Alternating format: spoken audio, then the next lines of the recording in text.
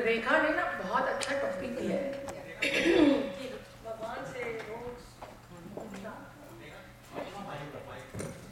हम लोग भगवान से वैसे हम हमेशा कुछ ना कुछ मांगते रहते हैं जब भी मंदिर में खड़े होते हैं। कुछ नहीं घर के लिए सुख शांति मांगते हैं। इसके अलावा तो ज़्यादा नहीं मांगते।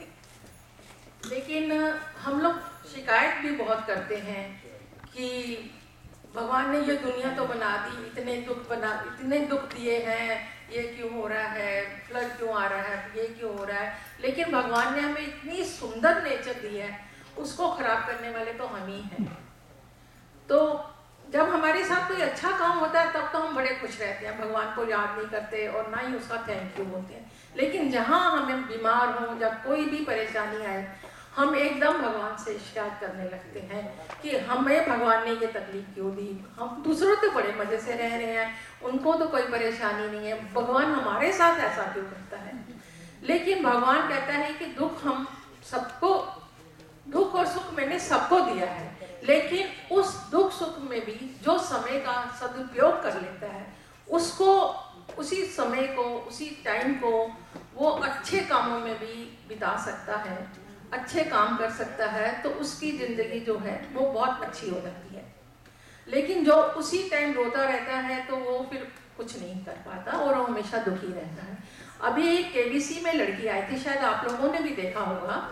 वो हाँ वो उसको आँखों से बिल्कुल दिखाई नहीं दे रहा था, लेकिन वो केबीसी में इतने कॉन्फिडेंट होके, इतना अच्छा प्रोग्राम उसने दिया और हमेशा हंस रही थी।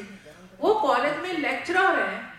तो अमिताभ बच्चन ने पूछा, तुम कैसे पढ़ाती हो? तो उसने बोला विजुअलाइजेशन से। मतलब मैं पूरी स्टोरी सुनाती हूँ ऐसे कि सबको ये लगता है कि वो देख रहे हैं, पढ़ रहे हैं, सब कर रहे हैं। ऐसी उसने अमिताभ बच्चन को भी एक कहानी सुनाई कि कैसे मैं पढ़ाती हूँ और वो हॉस्टल में रहती है। तो मैं प्रार्थना करती हूँ कि ऐसे लोगों को भगवान और शक्ति दे और बुद्धि दे, और अच्छा कि ताकि वो अपने जीवन में खुश रह सकें और उन चीज़ों को अपने आप को आगे बढ़ा सकें।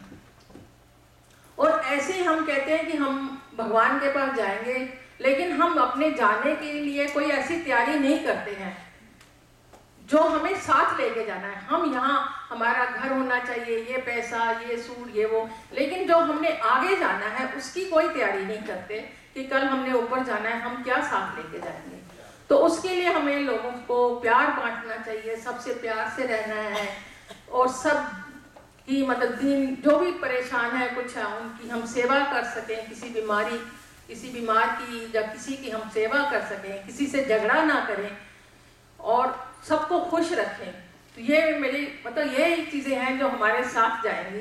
तो हम भगवान से यही प्रार्थना करते हैं कि सबको एक तो समय का सदुपयोग करना, समय को कैसे काटना है, कैसे खुश रहना है, क्या करना है, उसको, उसकी शक्ति दे ताकि वो अच्छे काम करते गए और अपना आगे का जाने का भी बहुत अच्छा इंतज़ाम कर सकें। यहाँ के साथ साथ थैंक यू और हमें और हम अपने टाइम का सदुपयोग करते हैं आईसीसी में आते हैं, यहाँ इंजॉय करते हैं फ्रेंड्स बनाते हैं, हँसते हैं और सबसे प्यार से रहते हैं, सबसे अच्छा समय का सदुपयोग हम इस उम्र में ये करते हैं।